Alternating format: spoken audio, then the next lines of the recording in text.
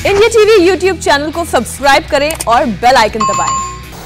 चलिए आगे बढ़ते हैं और बात प्रियंका गांधी के मिशन उत्तर प्रदेश की करते हैं। प्रियंका गांधी ने आज लखीमपुर खीरी का दौरा किया और ब्लॉक प्रमुख चुनाव में बदसलूकी की शिकार महिला से मुलाकात की। प्रियंका ने पीड़ित महिला को साथ खड़े होने का भरोसा दिलाया और उत्तर प्रदेश सरकार पर जमकर अटैक किया। प्रियंका ने लखीमपुर का ब्लॉक चुनाव रद्द करने की मांग की और कहा कि महिला का अपमान करने वालों पर कड़ी कार्रवाई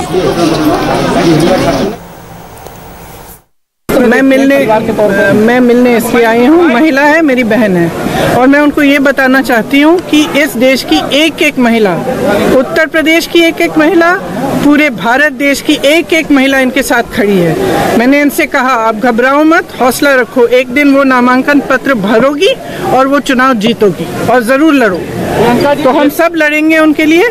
ये लोकतंत्र की लड़ाई है। आप क्या मांग करती है? मैं मांग करती हूँ कि यहाँ का चुनाव रद्द किया जाए दोबारा से चुनाव हो यहाँ। और जो इसमें एक हाई प्रोफ़ाइल जहाँ जहाँ ऐसा हुआ है वो होना चाहिए। जो भी इन लोगों के पीछे है। उनकी मौजूदगी। चाहे हाई प्रोफ़ाइल हो लो प्रोफ़ाइल हो जिन्होंने इन गुंडों को भेजा जिनको इसकी जानकारी है जो देख रहा है वीडियो में कि इस तरह से अत्याचार हुआ है चाहे कितना भी हाई प्रोफ़ाइल कितना भी ऊँचे कितने भी ऊँचे पद पर बैठा हो उसको दिख रहा है अत्याचार हो रहा है। उसको दिख रहा है कि महिला के साथ क्या हो रहा है। उसको दिख रहा है कि, कि चुनाव का की ये प्रक्रिया नहीं है कि आप नामांकन पत्र फाड़ें और किसी को मारपीट करके बाहर निकाल दें।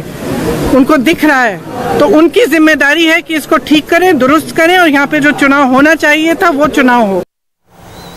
एक छोटे से ब्रेक के बाद लौटते हैं इस वक्त की हेडलाइंस के साथ।